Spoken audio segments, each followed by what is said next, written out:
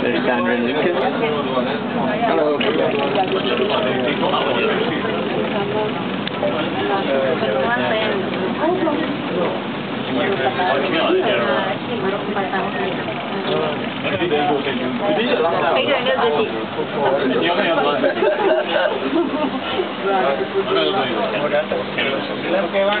bye.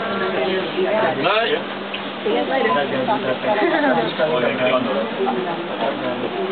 Okay, everybody out. I don't think so.